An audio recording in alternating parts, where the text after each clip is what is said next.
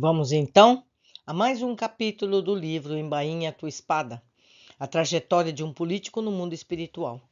Psicofonia de Luiz Antônio Mileco Filho, pelo espírito JP. E o Brasil?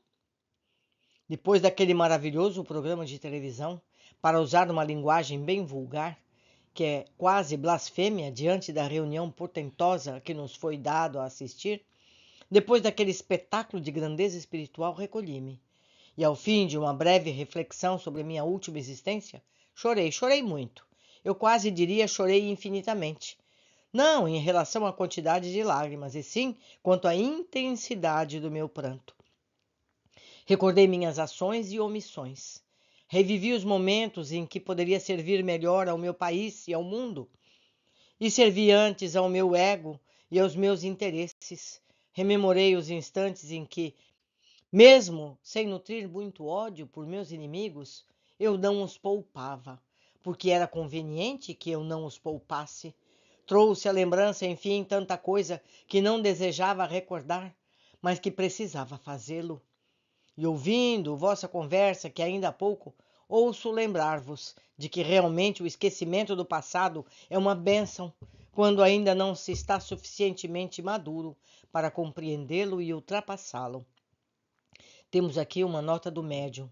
A entidade aluda a uma conversa sobre o esquecimento do passado mantida pelo grupo em cuja reunião foi recebida esta mensagem.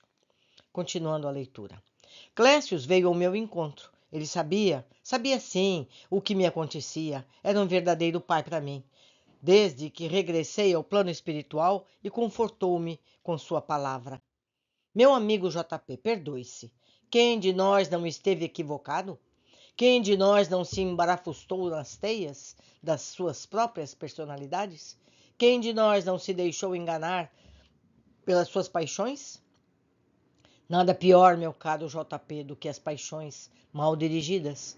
Quando elas estão a serviço das causas nobres, produzem heróis quando estão a serviço do nosso eu pequenino, provocam desastres para nós e para o nosso próximo. Não se inquiete, no entanto, porque não há ninguém na Terra que já não tenha passado por esse tipo de experiência.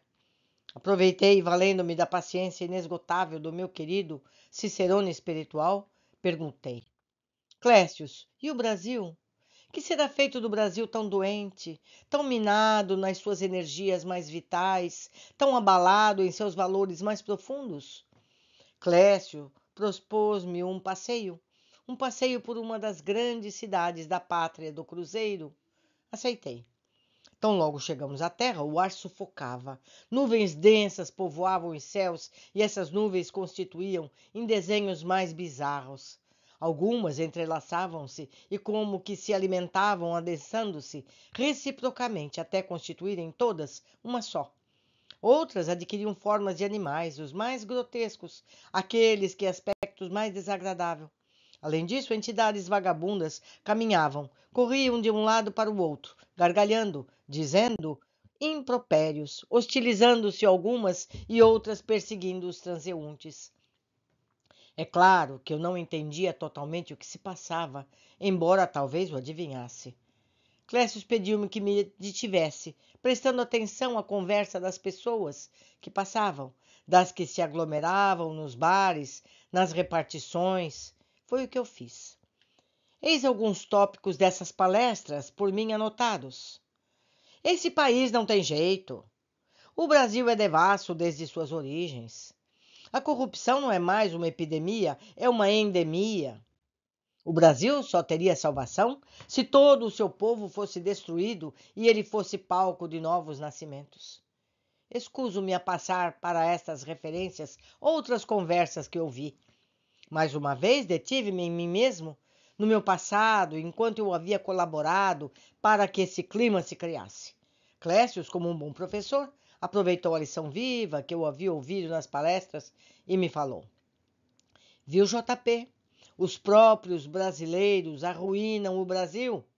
Os próprios brasileiros lhe deprimem a aura com suas apreciações. Eles próprios o bombardeiam diariamente com seus pensamentos destrutivos, com suas emoções de baixa qualidade vibratória. Acudiu-me então uma ideia que logo expus ao meu caro Clécius. Meu amigo, disse eu, sei bem que tens razão, sei bem que é preciso melhorar a psicosfera deste país, mas que me dizes do que ocorre com ele na atualidade? Devemos assistir a tudo de braços cruzados, sem nada fazer, sem nada dizer, em nome da caridade ou da paz? Logo Clécio percebeu, dentro de mim, se levantava de novo o político violento, cheio de arroubos de outros tempos, e falou: Calma, JP. O que está dentro de nós não morre, transforma-se. É preciso despertar neste povo uma salutar indignação.